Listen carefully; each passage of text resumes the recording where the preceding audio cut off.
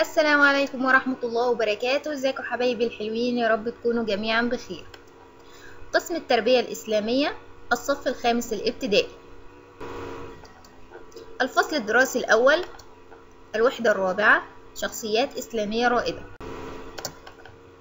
عنوان الدرس أم الشهداء الخنساء بنت عمرو رقم الصفحة 41 درسنا النهاردة يا حبايبي الحلوين بيتكلم عن شخصية من الشخصيات الإسلامية الرائدة وشخصية صب أثر فيها الإسلام وصبرت كتير آه وذلك لموت أولادها الأربعة في حرب القادسية.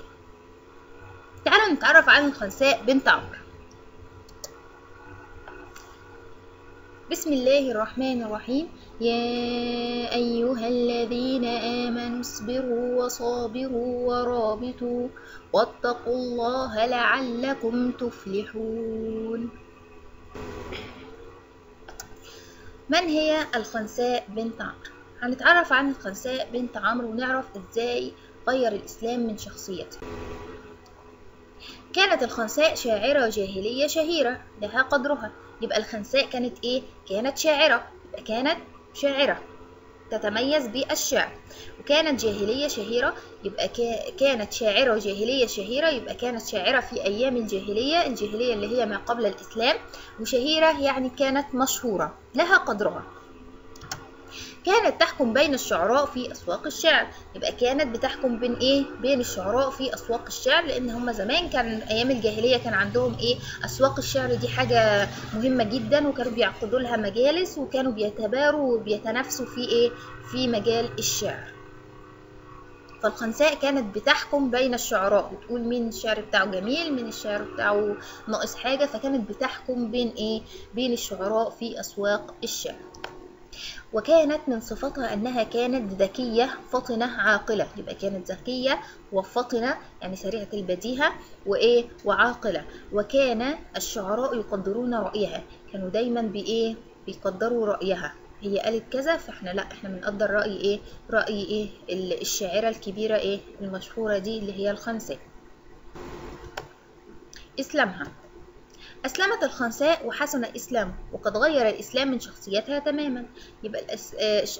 لم... الخنساء لما سمعت عن الإسلام إيه أسلمت وحسن إسلامها وقد غير الإسلام من شخصيتها تماما غير من شخصيتها كتير في أفعالها وتصرفاتها وكانت أشعارها بتعجب النبي صلى الله عليه وسلم عليه أفضل الصلاة والسلام طيب كيف غير الإسلام من شخصية الخنساء؟ إزاي يا مس؟ أنت قلت إن الإسلام غير من شخصيتها، إزاي؟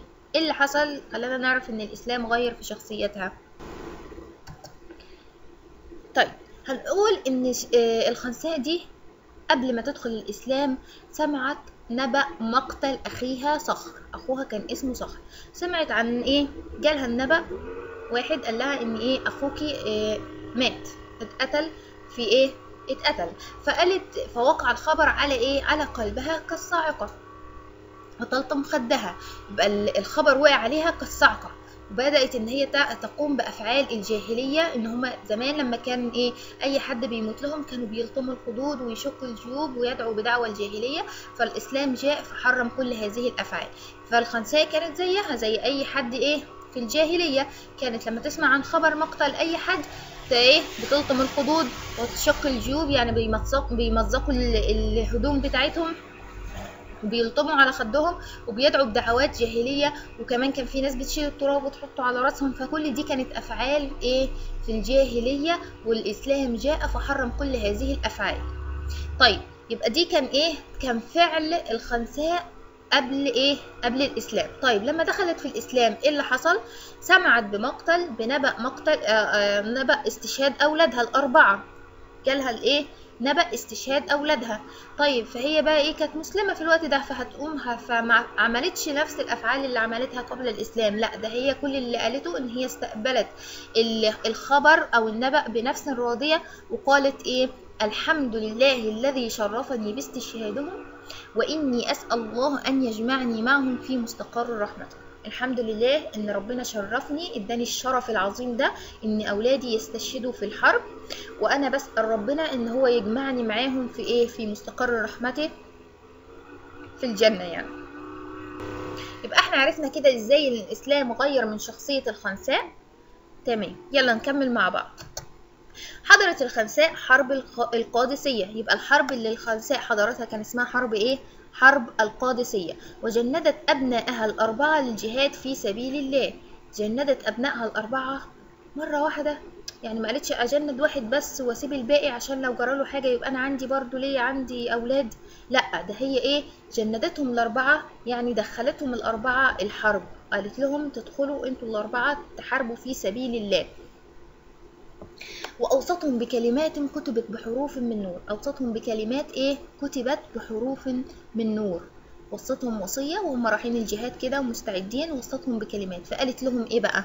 تعالوا نعرف الوصية اللي وصتها لأولادها. يا بني أسلمتم طائعين.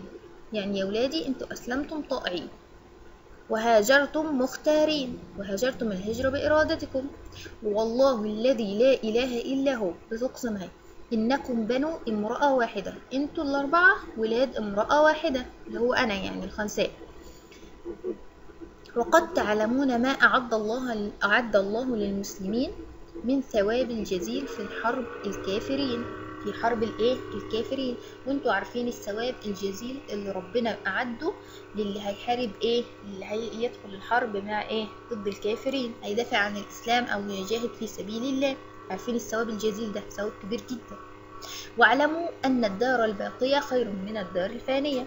اعلموا أن الدار الباقية اللي هي الدنيا اللي هي الآخرة عفوا خيرا من الدار الفانية اللي هي إيه؟ الدنيا.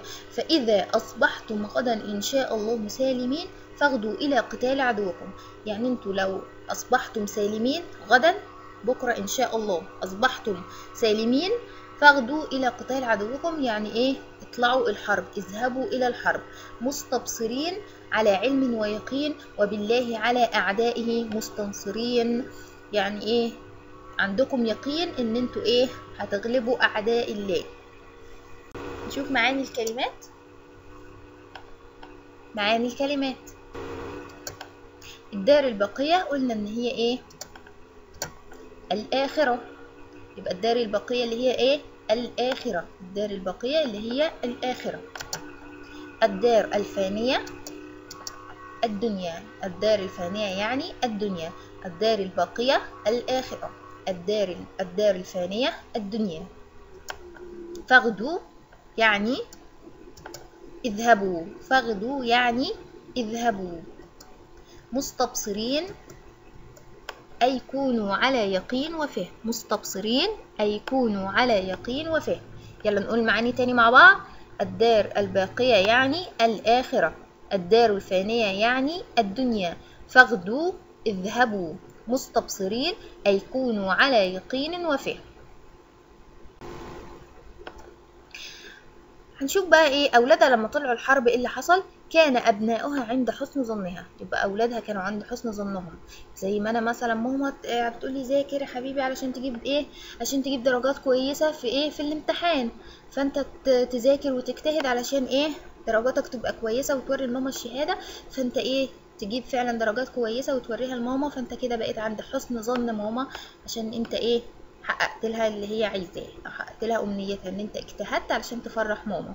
فهي أولاد الخنساء كانوا عند حسن ظنها إن هي طلعوا إيه؟ طلعوا الحرب وجاهدوا وجاهدوا في سبيل الله. فقاتلوا الأعداء طمعا في الشهادة. يبقى هم جاهدوا في سبيل الله وقتلوا الأعداء دول طمع طمعا في إيه؟ طمعا في الشهادة. فاستشهدوا الأربعة الأربعة استشهدوا في الإيه؟ في الحرب. طيب نشوف بقى الخنساء استقبلت النبأ ده إزاي. إزاي لما لما جالها الخبر إن أولادها الأربعة ماتوا في الحرب استقبلته إزاي؟ لما بلغها نبأ استشهادها استشهاد الأربعة بلغها النبأ قالت إيه؟ استقبلت الخبر طبعا بنفس الراضية علشان هي كانت في الإسلام في الوقت ده. استقبلته بنفس الراضية وقالت الحمد لله الذي شرفني باستشهادهم وأرجو أن يجمعني بهم في مستقر رحمته يعني هي كانت فرحانة ومبسوطة إن ولادها استشهدوا وولادها الأربعة استشهدوا. هي آه حزينة من جواها بس لا هي مبسوطة إن هم استشهدوا في سبيل الله استشهدوا من أجل الجهاد في سبيل الله.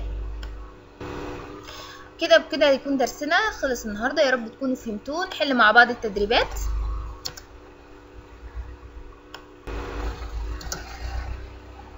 أكتر مما بين القوسين. تميزت الخنساء ب إحنا قلنا الخنساء كانت مميزة بإيه؟ الشعر ولا القصص ولا النوادر؟ الشعر ممتازين. حضرت الخنساء حرب اليرموك القادسية اليهود. إحنا قلنا إن هي حضرت حرب إيه وأولادها استشهدوا في الحرب؟ حرب القادسية. أحسنتم.